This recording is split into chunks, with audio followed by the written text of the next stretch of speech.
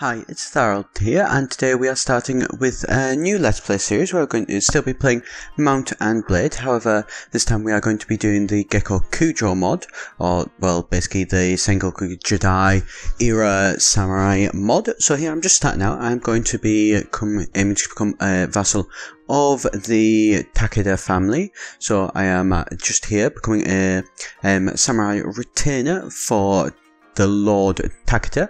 Obviously, given the year and everything, anybody who maybe knows a little bit about the actual sort of Sengoku Jidai period, obviously will likely know that he is Takeda Shingen, in is his actual proper name. Very, very interesting character here that we'll be working for. So we are just going to be looking at playing this to try and actually, you know, see how far we can get. Hopefully, you know, we can maybe raise Takeda up to being the Shogun and become hopefully one of his vassals. So here we are just, you know, getting everything sort of set up into the first battle here. We obviously do have some decent armor because obviously our father, we did choose to have him as a G samurai. It is a case that we basically, we do actually start as being able to become a samurai in his army rather than having to be an Ashigaru and start off as like a villager with absolutely nothing basically. So here, obviously we are just going to get into our first battle, hopefully leading, helping Takeda Shingen to quite an easy victory. Obviously, Takeda Shingen, anybody who does know about him, obviously is one of the main sort of daimyos of the area. He was kind of famous for establishing the Japanese cavalry charge, and the uh, Takeda family were very much known for having some of the best cavalry in Japan in the era. Obviously, that was mitigated somewhat with obviously Oda Nobunaga when he developed his techniques to fight against it. But I might sort of mention a little bit about sort of the history and things like that. Obviously, as we're going, obviously I have to say I know more than a little bit about it there. And so here though, getting back to this game, though, we have obviously managed to take these down pretty quickly. We are going to obviously be focusing on the katana. I mean, if you're going to play in the actual Sengoku Jidai as a samurai, why would you not want to be focusing on using a katana? It just seem a bit, a little bit mad. Possibly Naginata instead, but that would maybe be down the road.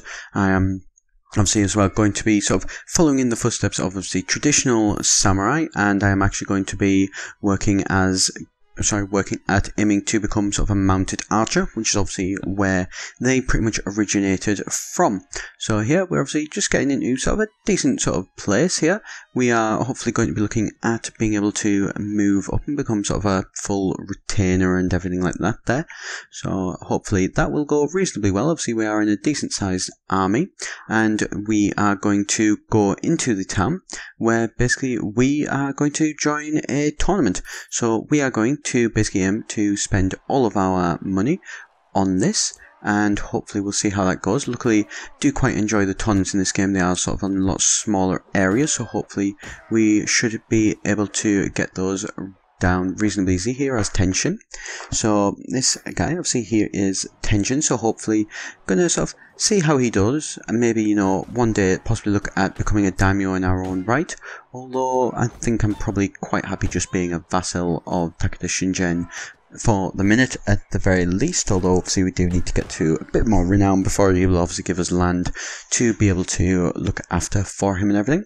So here we are just obviously, like I say, after each battle we are literally putting in our money. We're down to not even being able to, able to choose to give a hundred. So if this doesn't go well, we are going to be in more than a little bit of trouble as we will basically be completely and utterly broke, which obviously not a brilliant place to be in. Obviously, though, with being uh, somebody's um, retainer, though, we will be getting sort of regular money off him. He does obviously pay for the money, so at the very least, we don't need any mon or anything like that. But obviously, if we do want to look at expanding, possibly, you know, getting like a couple of merchant things going to bring in some money and things like that, obviously, we will need to have a fair bit of money to be able to actually look at doing all of that.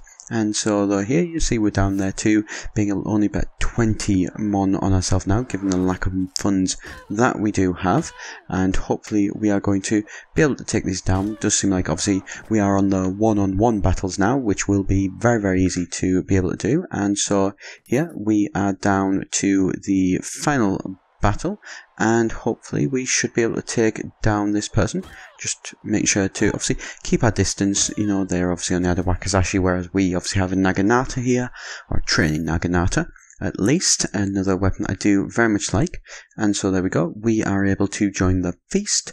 So Tenshin is going to go and meet with some of the actual nobles and see how everything goes. Although, admittedly, this obviously this festival or this feast has only just sort of started, so it is still very much a case that this one is quiet. Obviously, if any of you do like this sort of mod, if you've had got any experience of it, please do be sure to let me know. I'd love to hear about it in the comments below. Do be free, feel free to leave any comments that you want, obviously on your experiences with this mod, if there's anything that you'd recommend.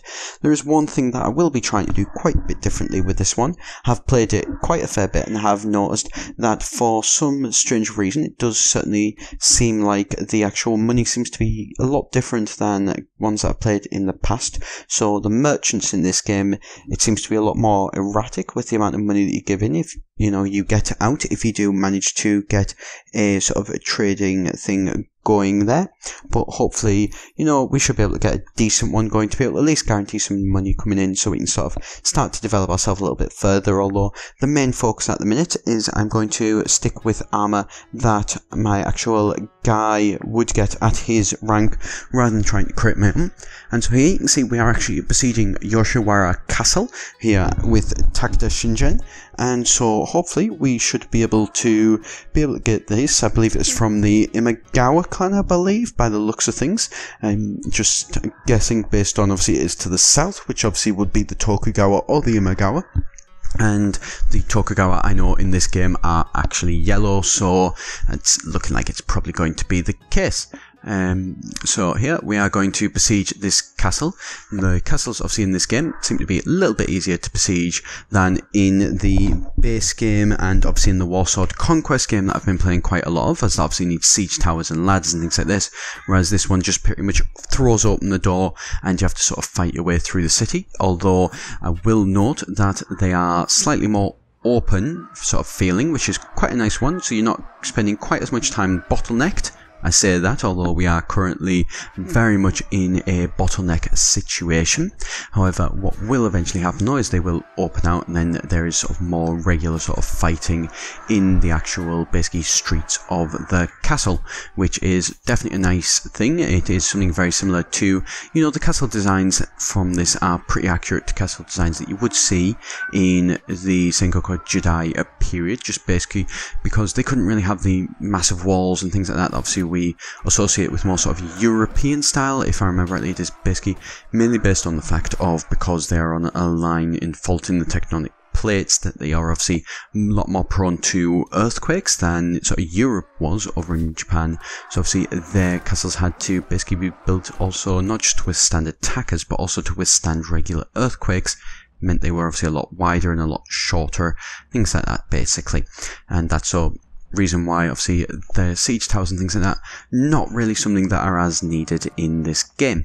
And so here you can see that we are going pretty well managing to cut through the guys and be able to actually get a decent way into the castle. We've managed to take out the first bit. It is one of the designs though for these castles which is different from the European ones and is quite a nice idea is that it's more segmented. So rather than obviously in the base game or in obviously the Warsword conquest mod that I've obviously been playing quite a lot of, where you pretty much, once you've taken the main walls, that's pretty much 80 or you've gone from there. There's only really the main courtyard if it is a particularly big army that you're fighting against, obviously.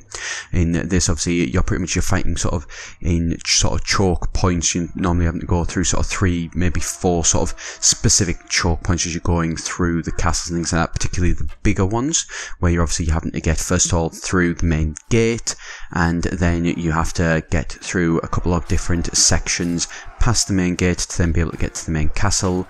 Then you're fighting obviously at the main door of the castle, again another choke point, and then you're obviously having to fight up the stairs through the castle in particular larger ones. So this one obviously does cause the castle to be quite a little bit different, does make them a lot more of an interesting thing, so it's not just a meat grinder of two armies hitting against each other on the walls and, you know, regular deaths happening on either side and things like that. It is a lot more flowing battlefield and things like that. So, yeah, the battle for the siege of Yoshiwara Castle has gone very well. We have managed to take out all of the enemy, although they only had around about 50 guys in here, so, you know, it wasn't exactly the hardest one to gain, but you know, still very nice, and we have managed to be able to increase before because of it. And Takeda Shingen has decided to promote us. There you go. We can see we have unfortunately was the case they did lose Yoshiwara Castle very very quickly. Unfortunately, didn't seem to have left the troops in it for then the Imagawa to be able to come back and take it. So we are attempting to retake it again and hopefully hold on to it this time if we will be, you know, lucky. Although obviously we are having to defend against some actual guys on the battlefield first though. So you can just see that the armor hasn't really changed much from the last mm, guy that obviously we're playing as. You know, well not the last guy, this guy that we're playing obviously in the last sort of rung along the armor. Although at the very least I am at least having sort of solid armor rather than obviously as you can see they're the Ashigaru archers to my left, who obviously only pretty much have a breastplate at the front. Obviously, if you get them from behind, they are not going to last very long, is safe to say. You know, obviously, we are using a spear a little bit, you know, mainly more just something to sort of do a little bit of damage when we do actually go into combat, and then we will more than likely normally aim to be switching through to our katana just to try and, you know, obviously level that up. We obviously have two in our weapon master, I believe. So we are in a pretty good place to be able to sort of develop our skills pretty quickly there. You can see our pole arms, you know, from a couple of hits are going up and we have actually managed to hit level four there as well already. Now, these battles, obviously, there is a case that because obviously that there aren't any shields or anything like that, you will notice that people are dying quite a bit quicker. So, you know, they can't just block and one block will sort of do all different types of defenses. We are actually having to, you know, defend and block in different directions pretty regularly, which basically does mean that our guys are going to be falling a little bit quicker, but then again, so are theirs, especially when large armies hit. Ironically, as well, one of the good things about this actual mod is because of the nature of the modern blade, the mount and blade game, where obviously it is a case where you know, there's lots of very good sort of battle lines and things like that that you can set up. But then once the actual battle itself actually does happen, pretty much everything descends into chaos that actually works really, really well for the actual Sengoku Jidai period, where they did mainly work under sort of like lots of mini sort of controlled skirmishes and things like that, which made up a big battle rather than a sort of uh, concept on the sort of the western side of, you know, fixed battle lines and things like that. They did start off with those and then descended into skirmishes with obviously very samurai splitting off, fighting in between themselves and then moving on to other little fights and things like that which quite an interesting way to do obviously when the actual i believe it was the koreans or the chinese i think it was the koreans obviously who attacked and the tsunami sort of heavenly waves obviously destroyed their army. Oh no mongol the mongols i believe it was actually who attacked. Obviously they were completely confused by this idea of not fighting one on one but all in sort of together basically. They were also very confused by the idea of rank and file and things like that really Anyway, that's sort of more law. Obviously, I know a lot about the Sengoku Jidai period. I have spent a very, very long time sort of reading up on it and things like that. So please do bear with me if it's not something you're so much interested in. Although I would probably assume, obviously, if you are watching this series, it is probably something you would be a little bit interested in, and you will be sure to be hearing a lot of it from me. And so here, obviously, as we are going, you can see that here that Tenshin has managed to sort of get a couple of guys sort of killing some guys here, and you know the actual Takeda Shingen's forces they are doing relatively well. We have obviously moved into the Northern Oda lands to try and hopefully be able to actually expand our lands here. We are pretty much decimating the Oda forces here. Very much a decisive victory, and Shingen proving himself as one of the great military leaders of the era, which was obviously very much the case. And so hopefully here we are just going to be sort of riding that wave and, you know, trying to actually prove that we are going to be just as useful for him. We'll be able to distinguish ourselves. I think one of the aims is I want to get a cavalry guy this time. I've obviously been playing a lot where I have been actually as a sort of foot soldier and things like that in various people's armies and things like that in the past.